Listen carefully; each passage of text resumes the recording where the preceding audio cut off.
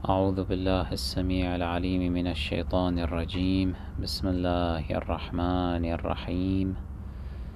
القول مني في جميع الأشياء قول آل محمد عليهم السلام.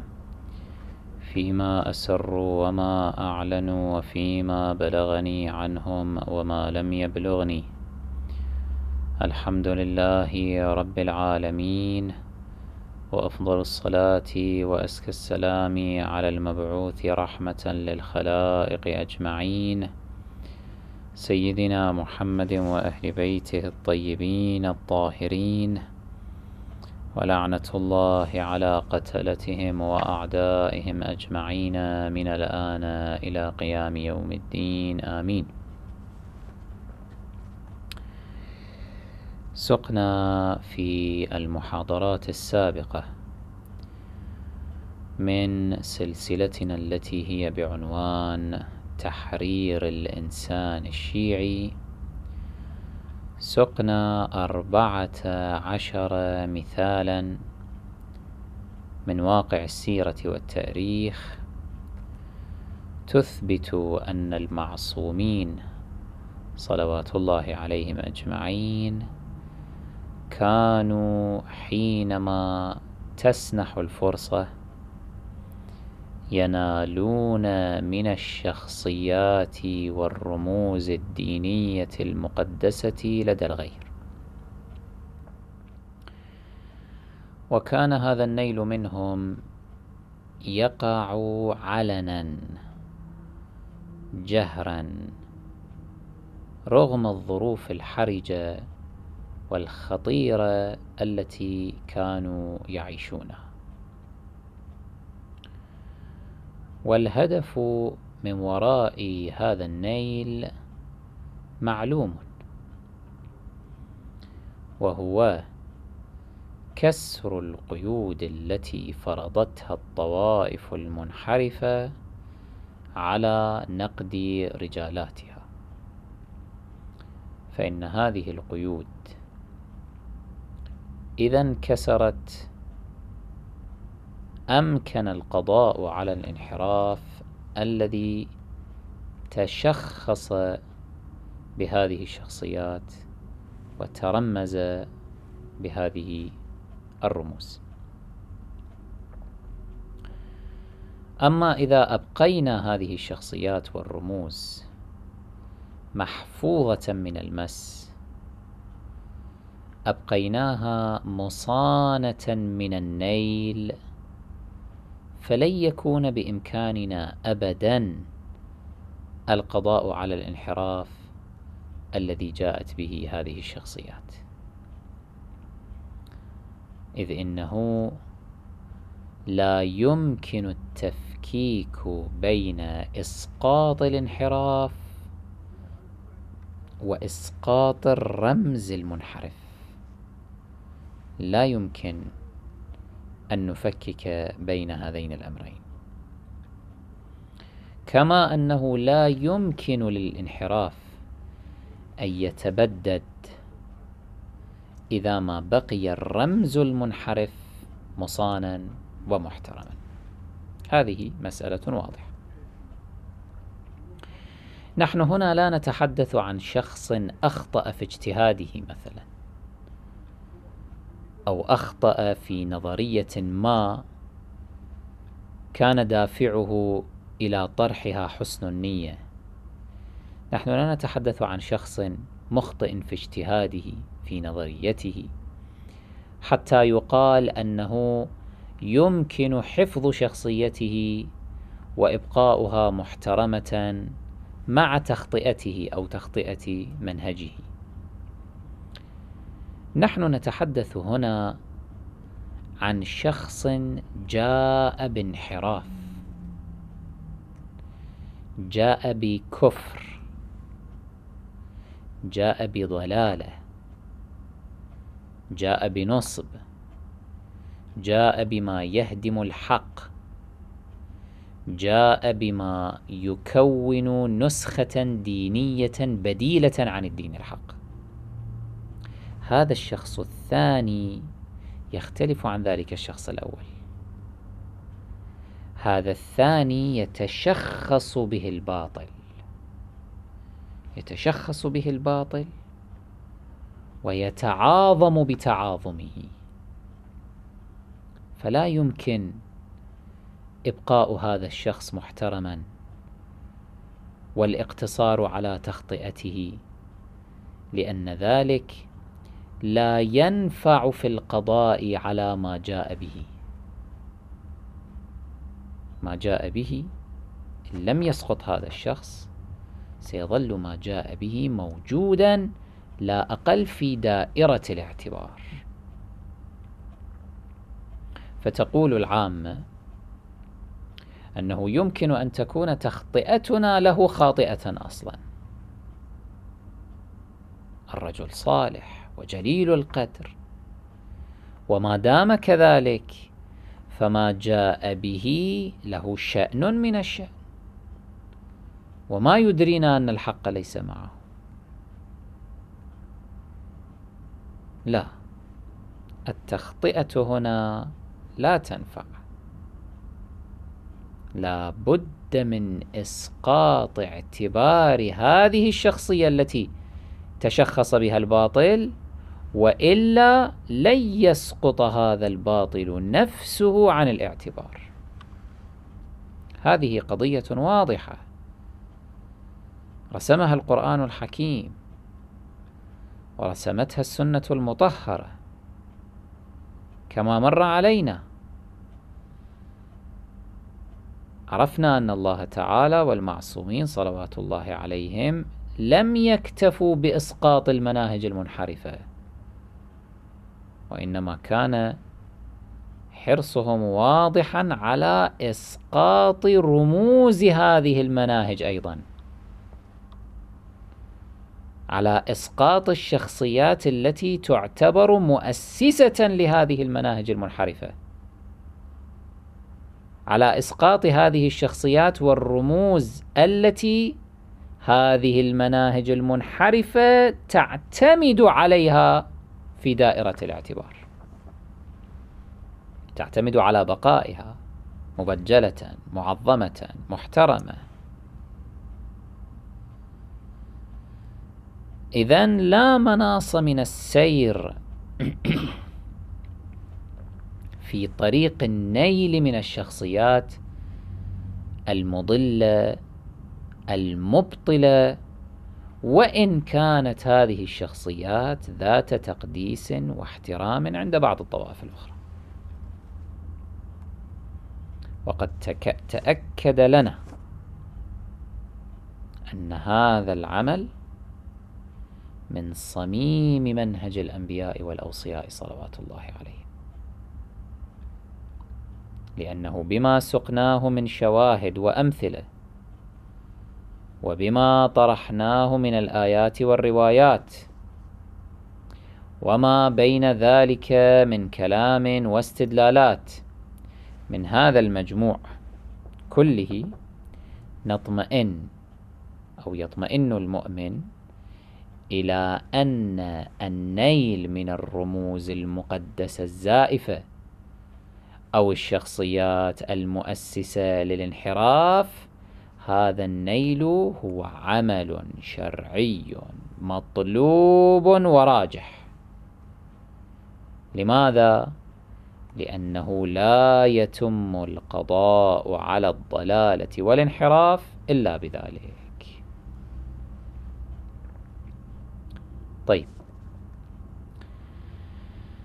بعدما تأكد لنا هذا الأمر نعود الآن للإجابة على شبهة غير ذوي الفطنة التي حكيناها في إحدى الحلقات الماضية من هذا المبحث. تلك الشبهة التي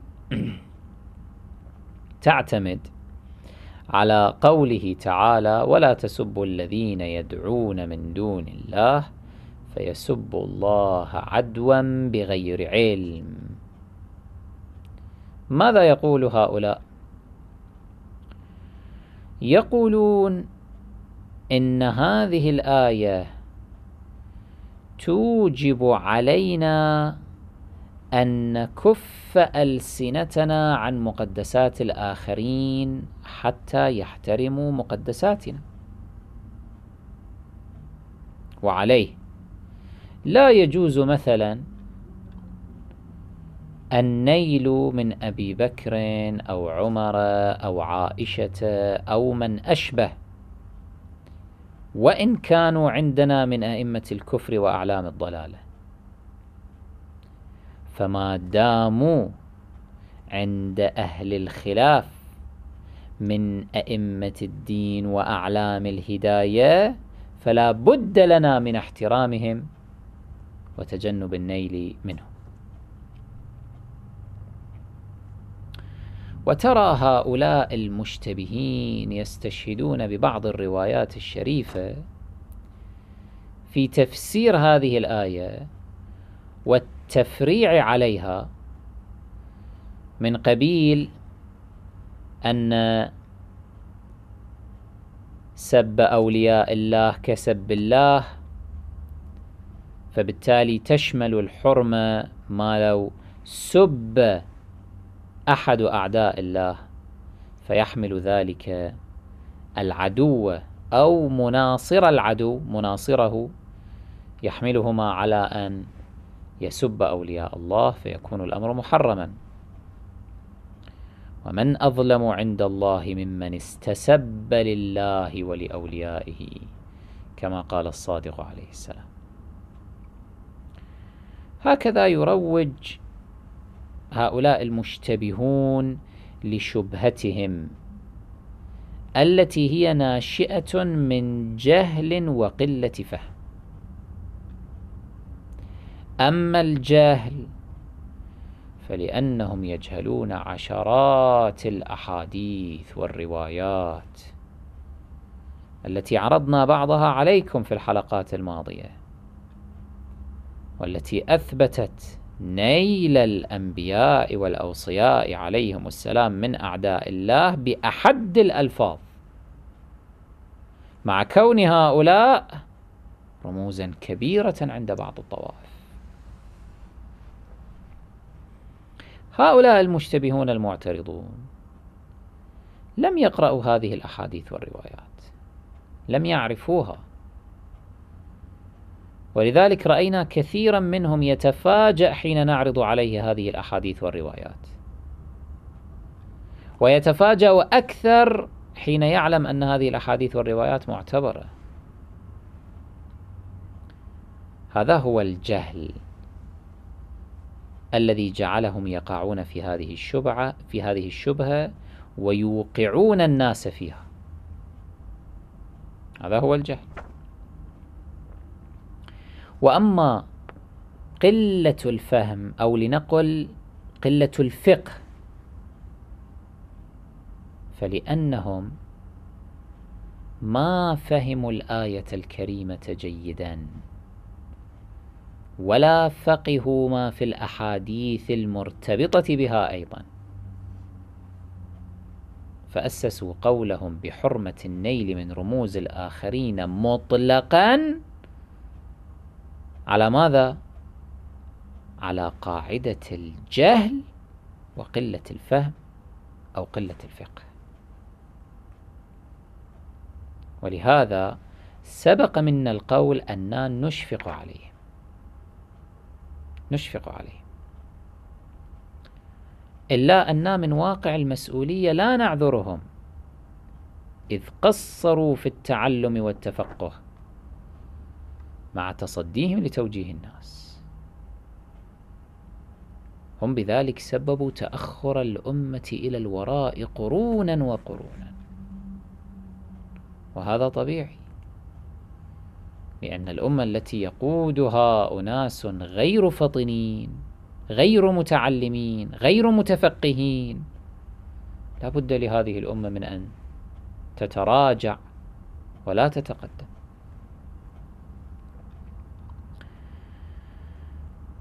أول ما يرد على هؤلاء أو يرد شبهتهم أنا لو أخذنا بهذه الشبهة على إطلاقها لو أخذنا بقولهم على إطلاقه بحرمة النيل مطلقا لوجب حينئذ كما ذكرنا سابقا تخطئة الأنبياء والأوصياء عليهم السلام.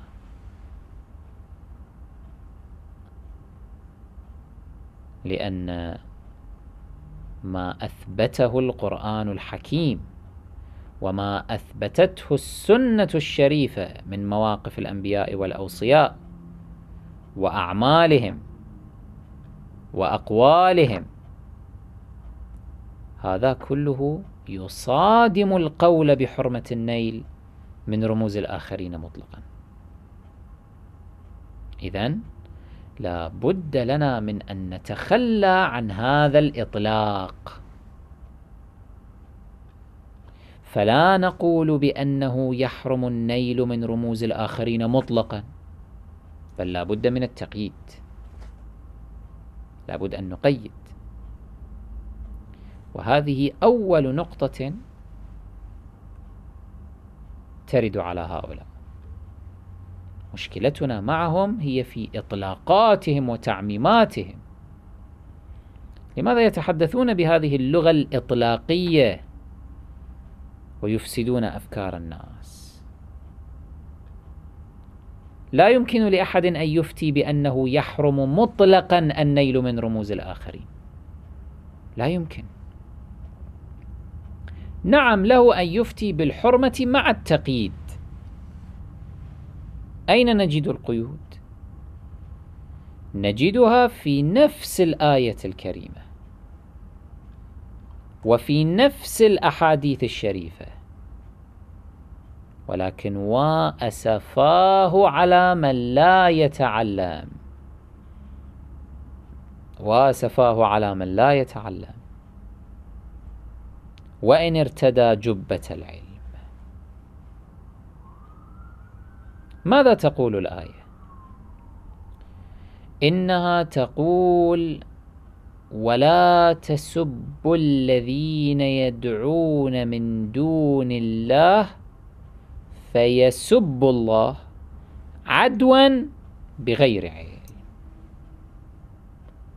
هنا نجد أن حرمة السب أو النيل معلقة على إفضائها لارتداده على الله تعالى. كأن الله تعالى يقول يحرم عليكم أن تسبوا الأصنام ما دام ذلك يفضي إلى سب الله. فهذا قيد أول. أما القيد الثاني فقوله تعالى عدوا. ما العدو؟ العدو هنا بمعنى أن الكافر أو المخالف يعدو أي يتجاوز عن حالة سابقة هي سكوته عن الله وأوليائه فيكون سب المؤمن لمن يعتقد به هذا الكافر أو المخالف موجبا لعدوه. أي تجاوزه عن تلك الحالة السابقة إلى حالة جديدة أو حالة طارئة يهتك بها حرمة الله وحرمة أوليائه عليهم السلام. هذا قيد ثان. أما القيد الثالث فقوله تعالى بغير علم. أي أن هذا الكافر أو المخالف يكون جاهلا غير عالم يعدو بغير علم أي بالجهل. لأنه جاهل يعدو أو يعتدي. والجاهل هنا ليس هو الجاحد أو المعاند وإنما هو ذاك المخدوع المستضعف الذي تربى على شيء يظنه حقا وليس بحق. هذا قيد ثالث. إذن في الآية الكريمة نفسها نجد ثلاثة قيود لحرمة السب أو النيل. من أنداد الله أو أعدائه على ما نزلته الأحاديث الشريفة التفسيرية. وعليه يمكن لنا أن نخرج فروضا لا يحرم فيها السب أو النيل. يمكن لنا ذلك. أن نخرج فروضا لا يحرم فيها السب لأنداد الله أو أعدائه. فبأي وجه قيل بالإطلاق؟ بإطلاق الحرمة.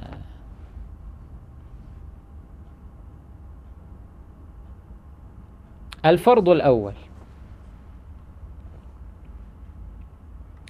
ألا يكون النيل مفضيا لارتداده على الله تعالى أو, أو, أو أوليائه عليهم السلام. لو افترضنا أن امرئا يقدح, يقدح في الطاغية عمر بن الخطاب مثلا. وهو عالم بأن المخالف لن يرد بالقدح في أمير المؤمنين عليه السلام. لماذا؟ لكون هذا المخالف معتقدا بأمير المؤمنين كخليفة الرابع. أو أن هذا المخالف لن يرد بالقدح في أحد من الأئمة عليهم السلام. لكونه لا أقل يعتقد فيهم الجلالة فإذا هنا لا حرمة للنيل في هذا الفرض. هذا الفرض الأول. الفرض الثاني أن لا يكون النيل موجبا لتجاوز المخالف عن حالة سابقة. فلو افترضنا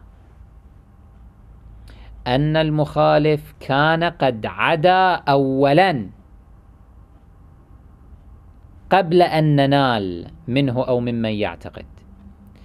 أي كانت حالته السابقة هي هتك حرمة الله وأوليائه.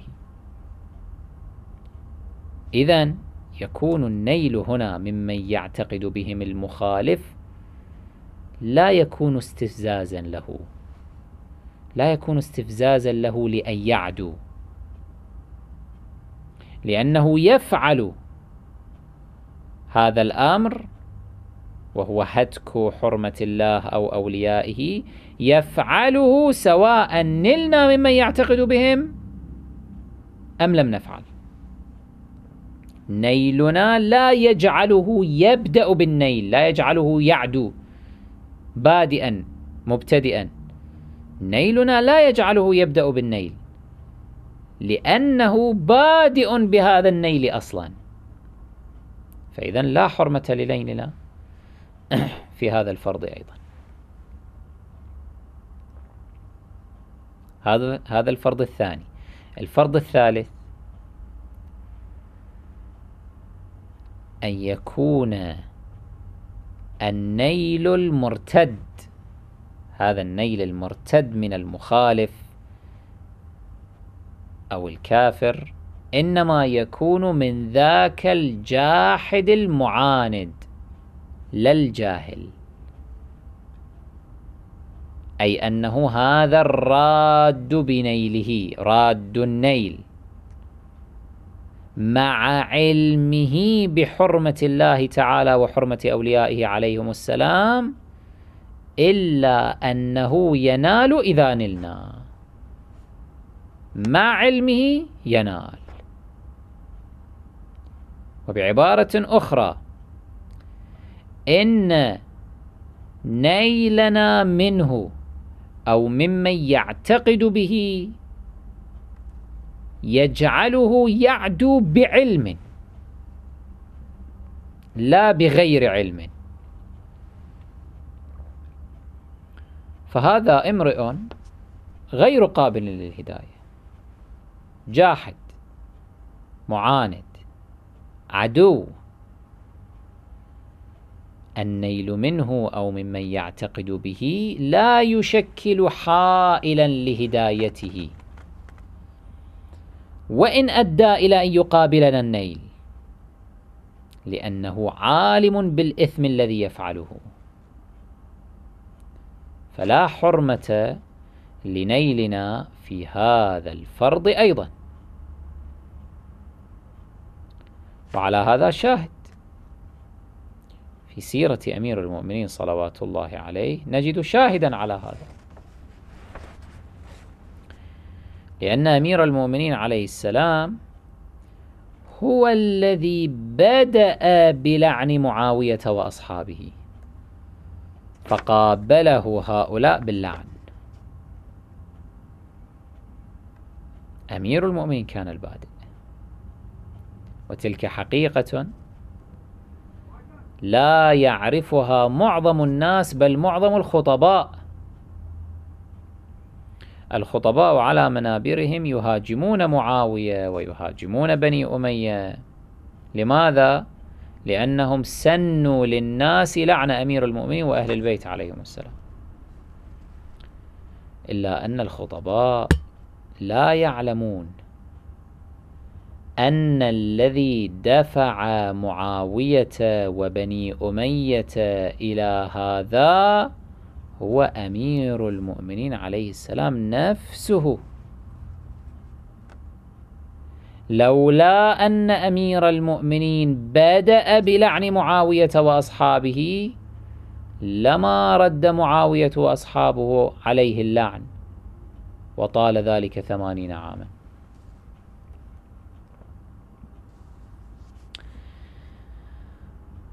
روى الطبري والبلاذري في ضمن ما جرى بعد قضية التحكيم. قال وانصرف أهل الشام إلى معاوية فسلموا عليه بالخلافة وبايعوه. ورجع ابن عباس وشريح بن هانئ إلى علي بالخبر. فكان علي إذا صلى الغداة أي الفجر قنت من القنوت. فقال اللهم لعن معاوية وعمرا وأبا الأعور وحبيب بن مسلم وعبد الرحمن بن خالد بن الوليد والضحاك بن قيس والوليد بن عقبة. فبلغ ذلك معاوية فكان يلعن عليا والحسن والحسين والأشتر وقيس بن سعد وابن عباس وعبد الله بن جعفر. رواية أخرى لنصر بن مزاحم. يقول كان علي بعد الحكومة إذا صلى الغداة والمغرب وفرغ من الصلاة وسلم قال اللهم لعن معاوية وعمرا وأبا موسى وحبيب بن مسلم وعبد الرحمن بن خالد والضحاك بن قيس والوليد بن عقبة. فبلغ ذلك معاوية فكان إذا صلى لعن عليا وحسنا وحسينا وابن عباس وقيس بن سعد بن عبادة والأشتار. وبطبيعة الحال انقسمت الأمة إثر ذلك إلى قسمين. يلعن كل واحد منهما رموز الآخر. الشيعة من أهل الكوفة اقتدوا بإمامهم علي عليه السلام فكانوا يقنتون بلعن معاوية وأصحابه. والمخالفون من أهل الشام اقتدوا بإمامهم معاوية لعنه الله. فكانوا أيضا يقنتون ولكن بلعن علي وأهل البيت عليهم السلام ولعن أصحابه.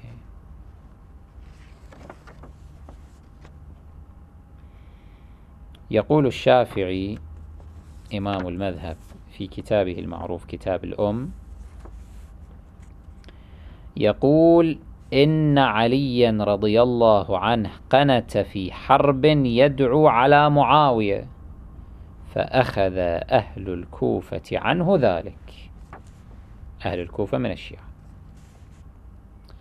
وقنت معاوية بالشام يدعو على علي رضي الله عنه فأخذ أهل الشام عنه ذلك. أهل الشام كانوا من النواصب من المخالفين.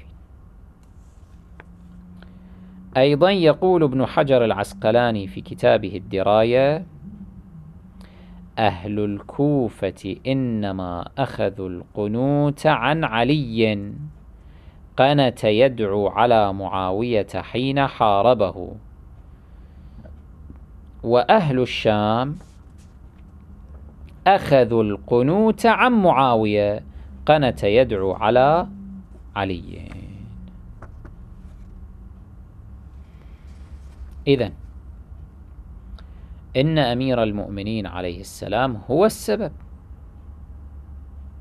لولا أنه بدأ بلعن معاوية وأصحابه لما رد عليه هؤلاء اللعن. ولما سنوه في الأمة إلى أن طالت مدته ثمانين عاما. ولما انقسمت الأمة إلى قسمين يلعن كل منهما رموز الآخر. مع ما ينشره هذا من أجواء الشحناء والبغضاء ومع ما يخلفه من أوغار في الصدور. ولكن كان علي هو السبب هو البادئ باللعن. فهل يتجرأ أحد من هؤلاء الخطباء المساكين هل يتجرأ على تخطئة أمير المؤمنين عليه السلام لأنه كان البادئ باللعن هل يجرؤون على توجيه النقد لأمير المؤمنين عليه السلام قائلين إنك يا أمير المؤمنين تناقض نفسك؟ أولست الذي نهيت حجر بن عدي وعمر بن الحمق؟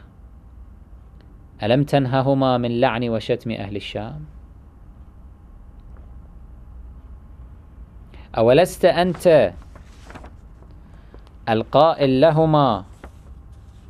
كرهت لكم أن تكونوا لعانين شتامين تشتمون وتتبرؤون ولكن لو وصفتم مساوئ أعمالهم أعمالهم وذكرتم حالهم فقلتم من سيرتهم كذا وكذا ومن عملهم كذا وكذا كان أصوب في القول وأبلغ في العذر. وقلتم مكان لعنكم إياهم وبراءتكم منهم. اللهم احقن دماءنا ودماءهم وأصلح ذات بيننا وبينهم. واهدهم من ضلالتهم حتى يعرف الحق منهم من جهله ويرعوي عن الغي والعدوان من لهج به. كان هذا أحب إلي. وخيرا لكم. أنت يا أمير المؤمنين صلوات الله عليك. تنهى هنا عن لعن وشتم أهل الشام. فكيف تنهى عن شيء أنت واقع فيه؟ أنت تلعنهم في قنوت صلاتك وأنت تأم الناس والناس يقتدون بك. هكذا يمكن للجاهل أن يعترض على أمير المؤمنين عليه السلام. العالم لا يعترض. لماذا؟ لأنه عالم وليس جاهلا.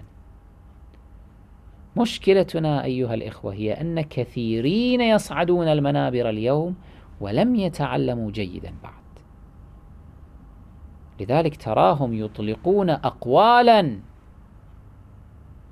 أقوال من قبيل حرمة النيل مطلقا. ويستدلون بكلام أمير المؤمنين عليه السلام لما يقول كرهت لكم أن تكونوا سبابين. ثم يشنعون على معاوية وأصحابه بأنهم سنوا اللعن والسب لأهل البيت عليهم السلام ويقولون للناس هذا هو الفرق بين منهج أهل البيت ومنهج بني أمية. منهج أهل البيت هو الموعظة الحسنة.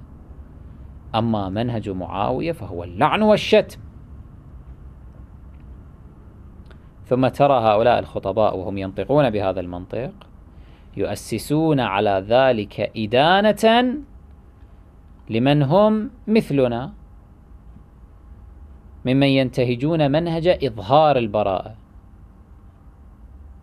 يقول هؤلاء الخطباء عن أولئك يقولون هؤلاء بعيدون عن أخلاق أهل البيت ومدرسته.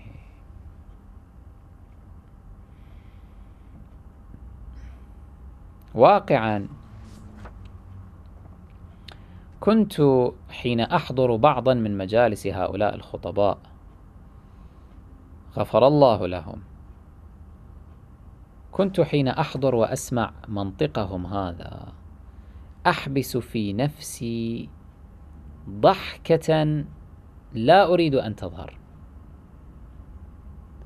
ثم تنقلب هذه الضحكة إلى حسرة وألم على هذا الواقع. واقع التقصير في اكتساب العلوم والمعارف. واقع السذاجة وقلة الفطنة. لست أدري لماذا لا يبذل هؤلاء جهدهم في اكتساب العلوم والمعارف. أقلا ليعرفوا كيف يتحدثون وكيف يوجهون الأمة. ليعلموا مثلا أن كلامهم هذا غير دقيق بل هو كلام غير صحيح. لا شك أن منهج أهل البيت عليهم السلام هو منهج الموعظة الحسنة ولكن من الجهة الأخرى منهج أهل البيت عليهم السلام أيضا هو منهج النيل من أعداء الله تعالى.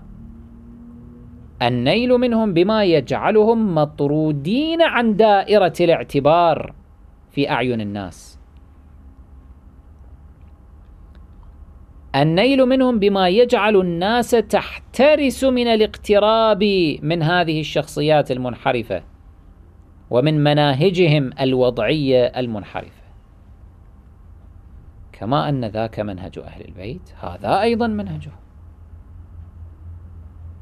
لو تعلم هؤلاء وتفقهوا لعرفوا كيف يزيلون هذا الالتباس الذي قد يصيب أحدهم حين يتصور أن ها هنا تناقضا بين ما دعا إليه أمير المؤمنين عليه السلام وبين ما كان يفعله. في حين أنه ينهى أصحابه عن اللعن والسب هو بنفسه يلعن ويسب حتى في الصلاة ويقتدي به أصحابه أيضا. فيتوهمون أنه ها هنا تناقض بين القول والفعل. أو تضاد. لا تناقض ولا تضاد هنا. كما بينا أولا إن النيل من أعداء الله تعالى حتى إذا كان يرتد على أولياء الله تعالى فلا حرمة فيه. لا حرمة فيه إذا كان من ينال منه سيعدو بعلم. أي أنه عدو معاند. أو رمز ضلالة. عالم بالحق لكن يجحده معاوية وأصحابه كانوا من أي صنف؟ كانوا من هذا الصنف. لذا فمع علم أمير المؤمنين عليه السلام بأن ابتداءه بلعنهم سيحملهم على تأسيس اللعن له ولأهل بيته وأصحابه وسيستمر ذلك ثمانين عاما تقريبا مع علمه بذلك. أظهر لعنهم في قنوت صلاته وفي خطبه وفي مواقفه المختلفة. لا يختلف اثنان على أن أمير المؤمنين صلوات الله عليه لعن معاوية وعمر بن العاص وأضرابهما ونال منهما أشد النيل. لماذا؟ لأن هؤلاء جاحدون. لن يكون الكف عن لعنهم سببا لهدايتهم. كما أن لعنهم لن يكون منفرا لهم عن الحق. لماذا؟ لأنهم قد أبوا الحق أبوه. تأصل هذا الإباء فيهم للحق هذا الرفض منهم للحق تأصل في نفوسهم المريضة المنافقة. فإذا لا تحتمل هدايتهم مطلقا. هؤلاء فليلعنوا. فليلعنوا وإن ردوا اللعنة. إلى أولياء الله تعالى. فليلعنوا لأنه لا يمكن تأسيس موقف شرعي واضح. يفيد الأمة بأن هؤلاء على كفر وضلالة. ويدفع الأمة إلى البراءة منهم. ويقيها الانخداع بمنهجهم. لا يمكن تحقيق كل هذا. على أتم وجه وأكمله وأثبته لا يمكن تحقيقه بغير إظهار اللعن لهم اللعن هو بمثابة إعلان رسمي من حجة الله وسفيره على الأرض بطرد, المع... بطرد الملعون عن عالم الحق. يطرد. فلا يغتر أحد بأن هذا الملعون هذه الشخصية على حق. بل الجميع يحكم بأنه على باطل. لماذا؟ لصدور اللعنة القاطعة من الحجة المعصوم لهذه الشخصية. وهذا وإن ترتب عليه أن يقوم هذا الملعون بالعدو بالعدو مع العلم عدوا بغير علم فيلعن أو يسب أولياء الله تعالى وإن ترتب ذلك إلا أن هذا اللعن مطلوب لماذا؟ لأن المصلحة المترتبة على تثبيت الموقف الشرعي الصريح من المعصوم تجاه الملعون فيسلم دين الناس. هذه المصلحة أعظم وأولى من المفسدة المترتبة على قيام الملعون برد اللعن والسب. وهذا هو الواقع الذي نعيشه اليوم. هذا الواقع الذي بأيدينا دليل على صدق هذا الذي نقول. معاوية وحزبه لعنهم الله. رغم كل ما بذلوه لتشويه صورة أمير المؤمنين صلوات الله عليه. حينما حملوا الأمة على لعنه حتى شب على ذلك الصغير وهرم عليه الكبير. رغم كل هذا ها هو ذا علي عليه السلام. لم يزدد إلا مجدا وتألقا وعظمة حتى استقر إجلاله في قلوب الأمة. بينما ها هو ذا معاوية لعنه الله. لم يزدد إلا خسة ودناءة وشطر عظيم من هذه الأمة يلعنه مضيا على سيرة أمير المؤمنين صلوات الله وسلامه عليه. إذا هذا الواقع الذي نعيشه دليل على أن المصلحة من اللعن لذلك الملعون مع العلم بأنه يعدو ويرد اللعن. هذه المصلحة أعظم من تلك المفسدة التي تترتب على ارتداد اللعن من الملعون على أولياء الله.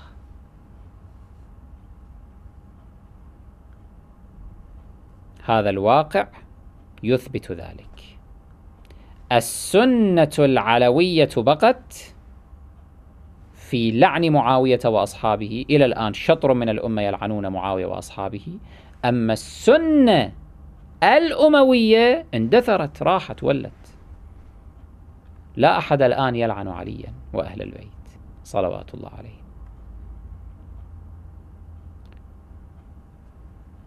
إذن مع من تكون الموعظة الحسنة؟ تكون مع ذاك الذي نراه مخدوعا مضللا جاهلا. نحتمل فيه أن يهتدي إلى الحق. هذا يخاطب بأدب ولا يستفز باللعن أو الشتم لنفسه أبدا.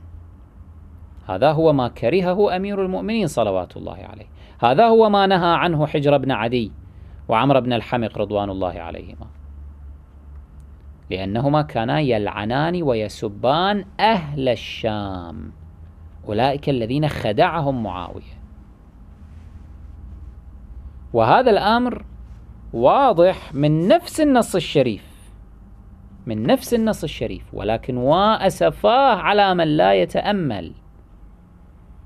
بماذا علل أمير المؤمنين عليه السلام كراهيته للعن والسب؟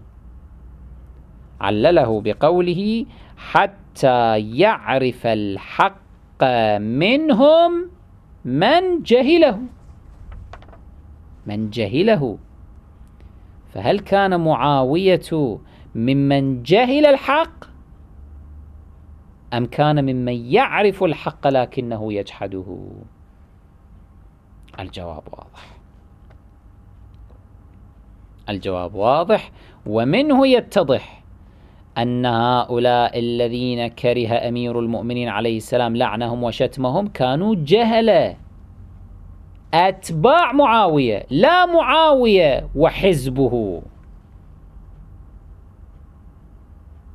لا معاوية وأصحابه ممن جحدوا بها واستيقنتها أنفسهم ظلما وعلوا. لا ينبغي لعن الجهلة والمخدوعين. ولكن يوقفون على ضلالهم. يبصرون بذلك. يبصرون دون استفزاز بلعنهم أو شتمهم. حتى لا يكون ذلك منفرا لهم عن قبول الحق. أما معاوية وأمثاله فيلعنون ويشتمون وينال منهم لأن ذلك لن ينفرهم عن الحق. ولن يمنع تحقق هدايتهم الممتنعة أصلا. هم من الذين كفروا سواء عليهم أأنذرتهم أم لم تنذرهم لا يؤمنون.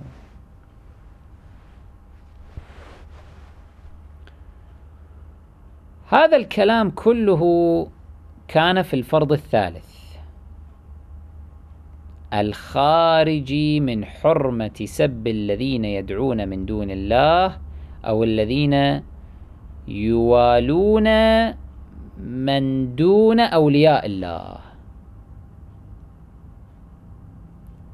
بقي هنا أن نشير إلى أمور في رد أصل الشبهة. الأمر الأول. أنه حتى لو افترضنا أن النيل من أعداء الله سيكون مشتملا في آثاره على القيود الثلاثة من إفضائه إلى ارتداد السب وكونه مخرجا للمخالف من حالة سابقة وكون هذا المخالف جاهلا مع هذا مع هذه القيود الثلاث يمكن أن لا يكون هذا النيل محرما؟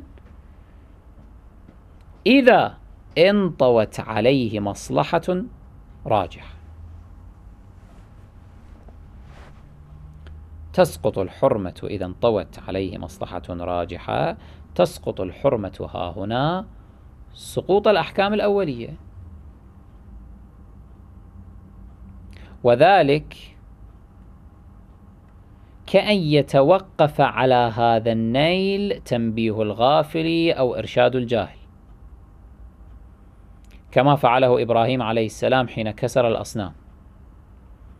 وكما فعله خاتم الأنبياء صلى الله عليه وآله حين نال من آلهة المشركين مما فصلناه في المحاضرات السابقة.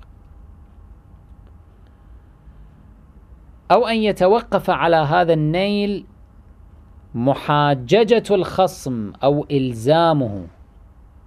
فإنه ها هنا أيضا لا يحرم النيل أيضا كما تشهد به سيرة المتشرعة سيرتهم في الاحتجاجات والمناظرات. ودونك كتاب الاحتجاج للطبرسي مثالا.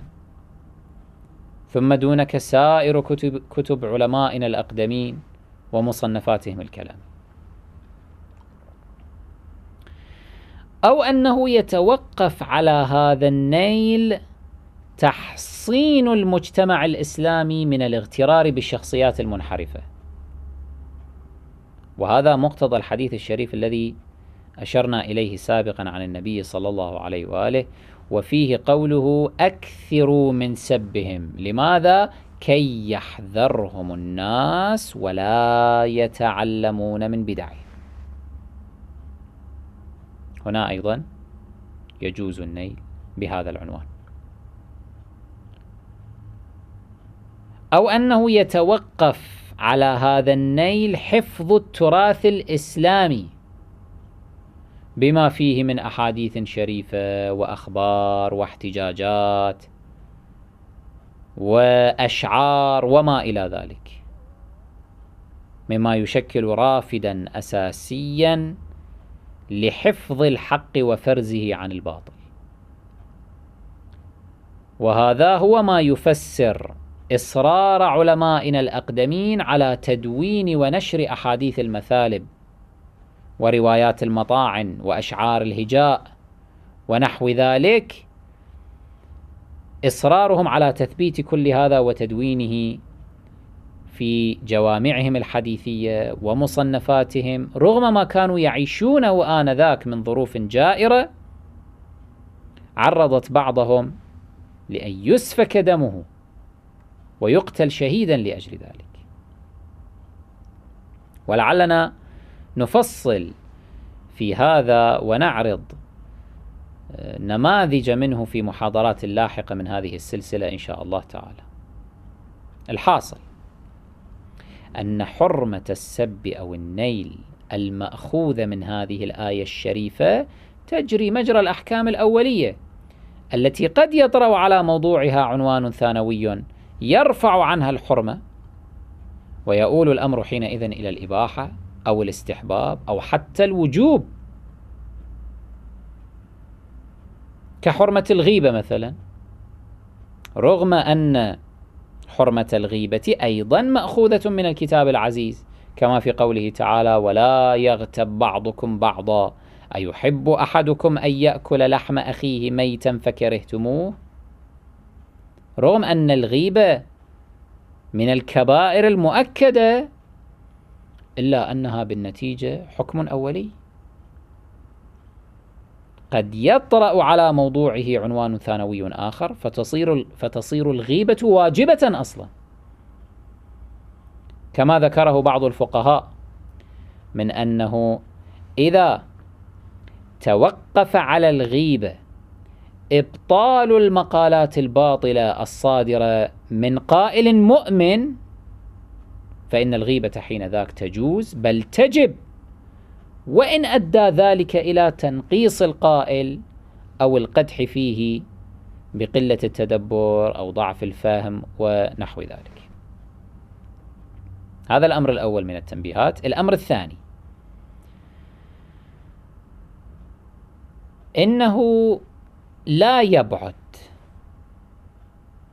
أن تكون الآية الكريمة التي تمنع من سب الذين يدعون من دون الله.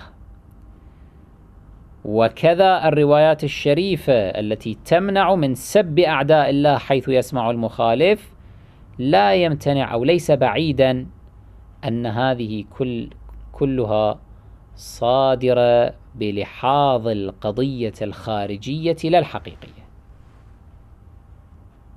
أي أن الحرمة كانت حرمة ظرفية لتجنب مفسدة يمكن أن تقع في تلك الأزمنة.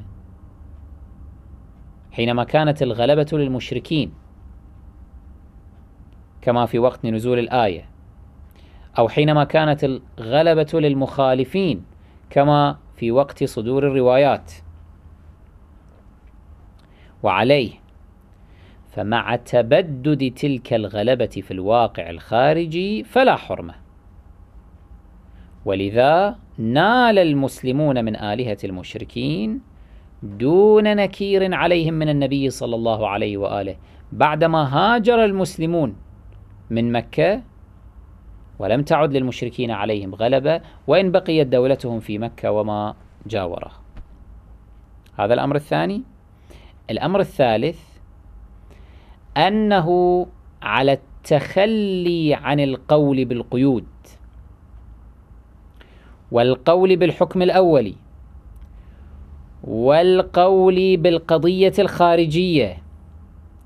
على التخلي عن كل ذلك يمكن أن يقال أيضا أن مطلق اللعن والثلب والنيل ليس سبا بالخصوص حتى يدخل في منطوق تحريم الآية. يمكن أن يسار بالنحو الذي سار فيه رسول الله صلى الله عليه وآله من النكير على آلهة المشركين والنكير على عبادتهم إياها رغم نزول الآية. إنه صلى الله عليه وآله لم يسب بعد نزول هذه الآية. ولكنه سار في إبطال هذه الآلهة هذه الأصنام بضرب من التوهين. لا أقل من بيان أن هذه الأصنام من المنكر والباطل. فليكن عمل العاملين من المؤمنين اليوم على هذا النحو مثلا حينما يتصدون للدعوة والتبليغ. كان يكثفوا جهودهم في بيان أن موالاة أبي بكر وعمر وعائشة هو من المنكر والباطل. هذا ليس من السب والشتم في شيء. ما زال للكلام في هذه النقطة بقية نرجئها إن شاء الله تعالى إلى المحاضرة المقبلة. وصلى الله على سيدنا محمد وأهل بيته الطيبين الطاهرين. بالله بمحمد علي بفاطمة بالحسن بالحسين بالأئمة الأطهار